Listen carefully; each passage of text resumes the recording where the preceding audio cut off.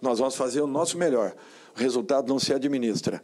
Naturalmente, você encurta o seu caminho para que alcance ou não alcance. E a nossa atitude, ela tem que ser uma atitude como a que nós tivemos aqui hoje. Nós não podemos alterá-la. Por isso que eu te, te garanto com toda certeza, nós estamos preparando esse momento há muito tempo. Não foi, não foram de semanas para cá não. Foram de meses para cá. E a todo momento, a todo instante, eu estou na cabeça deles que continuem acreditando que não se entreguem mesmo com os resultados negativos que estávamos tendo é, no Campeonato Brasileiro e a nossa saída, na minha opinião, precoce da Copa Sul-Americana nos pênaltis. Eu confio muito nesse grupo e sei que a entrega será ainda maior em busca desse resultado. Ele está certo. Ele foi demitido do, do Flamengo, né? Campeão. E ele enfrentou o Flamengo hoje campeão. Campeão de quê? Da Copa do Brasil, deixada por ele, né? E campeão da Libertadores, deixado por ele. Hoje, ele que chegou no São Paulo, um São Paulo trocando de técnico a, a cada, cada temporada, né? Ele pegou o São Paulo. Como ele falou aí no início da, da gravação, eu não, eu não tenho esse pedaço, peguei só um pedaço da. Comecei a gravar, já estava falando, mas ele disse: quando ele chegou, ele falou: nós vamos chegar a uma final. E com o passar do tempo, os jogadores passou a ele essa confiança que ele falou, pô, os caras vão entregar isso aí, vão para cima. Então é verdade, o Dorival tá certo. O Dorival sabe jogar esse tipo de competição, né? Ele fez isso o ano passado. Os flamenguistas batiam no peito e falavam: Não, porque o Flamengo não joga do jeito que tem que jogar. Tá jogando feio.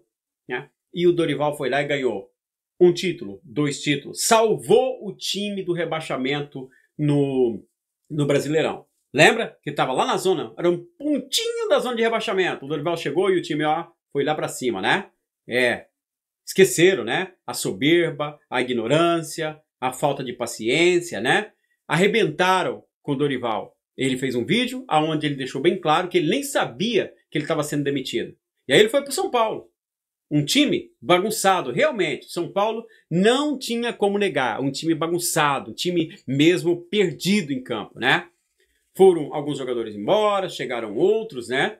Mas o Dorival fez um trabalho certinho. O Dorival fez um trabalho para estar tá na final. E agora, esse trabalho está chegando a essa conclusão. Ninguém sabia que o Flamengo ia estar tá nesse desespero que está. O Dorival não tem nada a ver com isso. São Paulo não tem nada a ver com isso. São Paulo não causou esse momento do Flamengo. O São Paulo acreditou, fez o trabalho dele e aí a vida se encarregou de colocar essa situação, esse desmorono de Flamengo, essa desmoralização do Flamengo, essa decomposição de dentro para fora do Flamengo, acabou contribuindo em tudo para esse trabalho que o Dorival vem fazendo.